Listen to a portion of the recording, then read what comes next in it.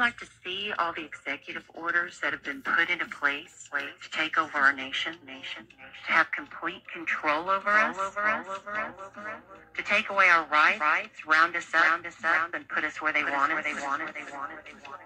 Here we go.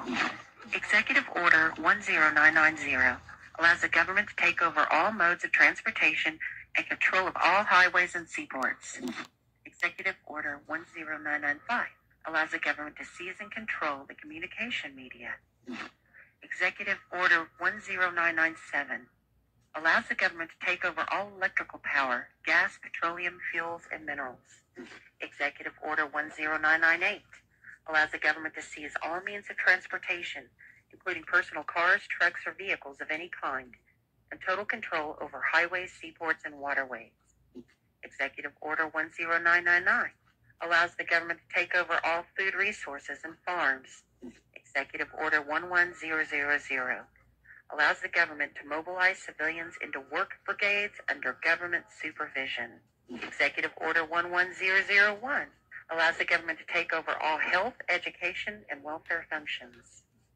Executive Order 11002 designates the Postmaster General to operate a national registration of all persons. Executive Order 11003 allows the government to take over all airports and aircraft, including commercial aircraft.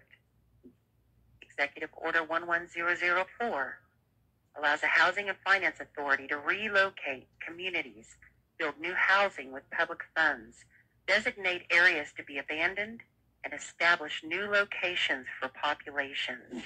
Executive Order 11005 allows the government to take over railroads, inland waterways, and public storage facilities. Executive Order 11051 specifies the responsibility of the Office of Emergency Planning and gives authorization to put all executive orders into effect in times of increased international tensions and economic or financial crisis. Executive Order 11310 grants authority to the Department of Justice to enforce the plans set out in executive orders, to institute industrial support, to establish judicial and legislative liaison to control all aliens to operate penal and correctional institutions, and to advise and assist the President. Executive Order 11049 assigns emergency preparedness function to federal department and agencies, consolidating 21 operative executive orders issued over a 15-year period. Executive Order 11921 allows the Federal Emergency Preparedness Agency to develop plans to establish control over the mechanisms of production and distribution of energy sources, wages, salaries, credit, and the flow of money in U.S. financial institution in any undefined national emergency. It also provides that when a state of emergency is declared by the President, Congress cannot review the action for six months.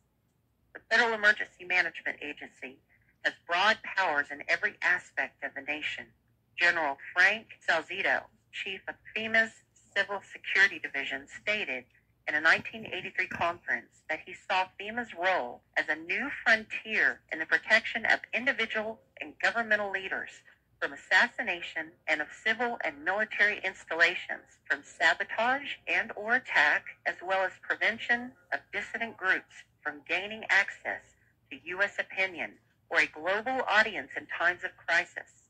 FEMA's powers were consolidated by President Carter to incorporate the National Security Act 1947 that allows for strategic relocation of industries, services, government, and other essential economic activities, and to rationalize the requirements for manpower, resources, and production facilities. The 1950 Defense Production Act gives the President sweeping powers over all aspects of the economy. The Act of August 29, 1916 authorizes the security of the Army in time of war to take possession of any transportation system from transporting troops, material, or any other purpose related to the emergency.